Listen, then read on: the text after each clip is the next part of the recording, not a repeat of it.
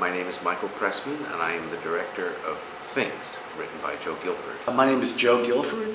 I'm the playwright. Uh, Finks is about the 1950s era of the blacklist, and it's a fictional account of the struggles of my parents, who were blacklisted actors in the 1950s in New York City. I grew up a child of uh, the blacklist, and I learned and experienced it from uh, firsthand. Director Michael Pressman has been a friend of mine since before we were born.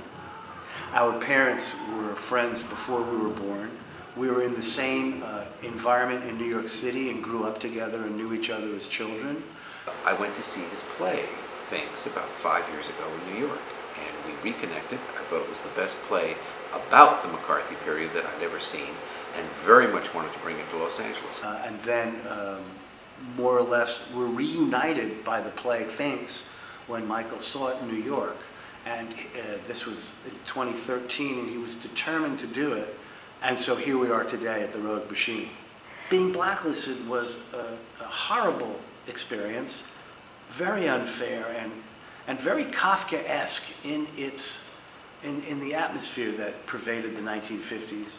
Um, and there was no getting out of the blacklist. Once you were suspected of being a subversive or being a, uh progressive political activist, you were then, uh, then it was that, that's the point at which you were, you were named at the committee and you were deprived of your employment.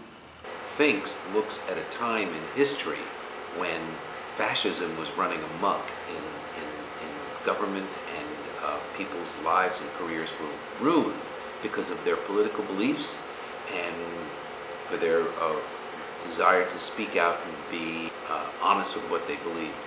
It, you, the play, when it was written, was a piece of history. Now it's a reflection of what could happen today. I would like to invite you, come see Finks at the Rogue Machine Theater at the Electric Lodge in Venice, California. And I hope you can come see it soon.